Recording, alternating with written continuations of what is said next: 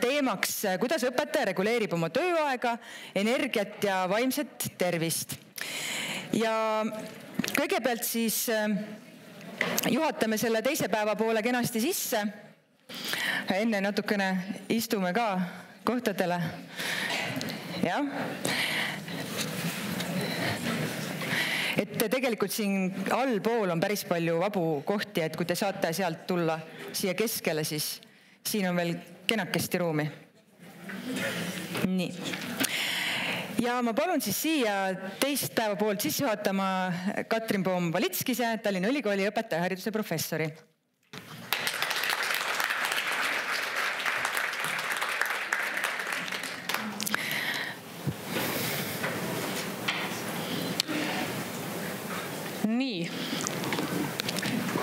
loodan, et ma olen kuulda mul paluti tõepoolest see teine päevapool sisse juhatada, et kui esimeses päevapooles äh, me rääkisime sellest, et kuidas organisatsioonis aega juurde luua, siis äh, selles teises päevapooles vaatame, et mida me ise õpetajatena ja õppejõududena siis ära teha saame. Ja äh, kui ma mõtlesin sellele, et kuidas see teine päevapool võib-olla kõige paremini sisse juhatada, siis äh, millegipärast meenus mulle üks maal ma usun, et te olete kõik seda maali näinud või vähemalt neid fragmente. ehk et Salvador Dali on väga mitmel oma Äh, pildil ja ka mitte ainult piltidel äh, seda voolava või sulava kella äh, kujutist kasutanud. Ja just selleks, et tuua esile aja suhtelisust ja paindlikkust. vaadates neid kelli, mis justkui sulavad käest ära, hakkame me mõtlema aja olemuse üle. see voolab, see muutub, libiseb mööda ja ometi, äh, nii nagu ka hommikul öeldi, on see kõige-kõige väärtuslikum ressurss, mida kasutada saame. Ehk aeg on see miski, mida me kõik püüame kontrollida, kuid sageli tundub, et see libiseb käest. Dali voolavad või sulavad kellad tuletavad meile meelde, et aja olemus on paindlik. See sõltub sellest, kuidas me oma aega kasutame, kuidas teeme valikuid, kuhu oma energia suuname, millistele tegevustele keskendume, millised ülesanded edasi lükkame või hoopis kellelegi teisele delegeerime. ilmselt oleme me kõik tundnud, kuidas on teinekord nii, et aeg lendab käest eriti siis, kui me teeme midagi põnevat, Äh, midagi, mis meid jäägitult haarab. ja ilmselt on meile tuttavad ka olukorrad, mis on tavaliselt ebameeldivad ja kus aeg venib ja venib. Ega muidu ju ka vanasõna ütle, et ootaja aeg on pikk. õpetajana on aeg üks meie kõige kallimaid ressursse ja sellega ümberkäimine on kindlasti kunst omaette kas te olete mõelnud, et miks on nii, et tundub, et mõnel inimesel on rohkem kui kakskümmend neli tundi ööpäevas kasutada, sest et nad jõuavad nii palju. ja seal kõrval on teised, kes äh, virisevad ja ütlevad, et midagi ei saa teha, midagi ei saa muuta, sest aega ei ole. jah, me kõik toimime teatud ühiskondlike ja organisatsiooniliste ootuste raames, mis kindlasti meie ajakasutust nii nagu ka hommikupoole juttu oli, paratamatult suunavad.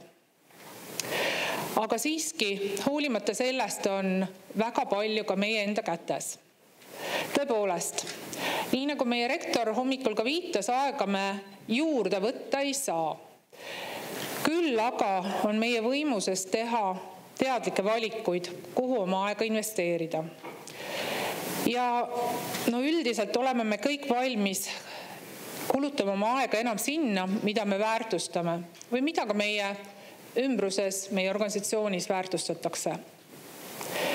ehk nii nagu organisatsioonis tuleks aeg-ajalt ajakasutust kriitiliselt üle vaadata, siis tegelikult sedasama peaksime tegema ka isiklikul tasandil. ja vaatama kriitiliselt üle kas need ajakasutuse põhimõtted ja väärtused, mida me järgime, viivad meid edasi või on äkki saanud takistuseks meie arengule?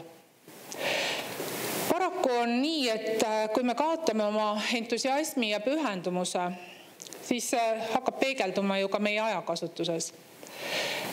me ei suuda ega taha panustada aega ja enda ressursse nendesse tegevustesse, mis meid ei innusta või mis meid edasi ei vii seega on hädavajalik, et me aeg-ajalt peatuks ja mõtleks, kas meie aja planeerimise põhimõtted toetavad meie pühendumust ja professionaalsust ka täna.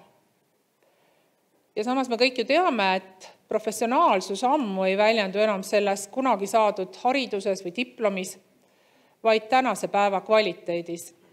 selles, kuidas me oma tööd teeme just täna, siin ja praegu ja midagi ei ole teha, õppimine on paraku ainus viis, mida me saame teha oma, selleks, et oma professionaalsust säilitada. samas uue õppimine või vanade käitumismustrite muutmine võtab aega ja nõuab pingutust. ja selleks tuleb leida aega. Ja samas peame me ka mõistma, et teinekord tuleb nende uute, kas harjumuste, uute, uutmoodi tegutsemise jaoks rohkem aega sisse investeerida enne kui saame nende tegevuste ja muutuste vilju lõigata. aeg on paindlik ja sõltub sellest, kuidas me kasutame seda aega. kui me suudame oma ajakasutust teadlikult ja mõtestatult kujundada, siis saame ka pühenduda neile tegevustele, mis meid ja meie õpilasi kõige enam edasi viivad. nii aga, nagu ka öeldi, et kui me laseme end lõpututel väikestel ülesannetel üle koormata, võib see meie entusiasmi ja energia ära neelata. seega on õpetajana oluline endalt ka küsida, kuidas hoida seda sära ja pühendumust ning samas vältida selle muutumist läbipõlemiseks. Dali voolavad kellad sümboliseerivad tegelikult ka vajadust lasta mõnikord ajal lihtsalt voolata. aktsepteerida, et me ei suuda kõike kontrollida ega täiuslikkuseni lihvida. ning aeg-ajalt vajame me kõik hingetõmbepause ja aega lihtsalt iseendale. Need voolavad kellad tuletavad meile meelde, et aeg ei ole alati konkreetne ega mõõdetav.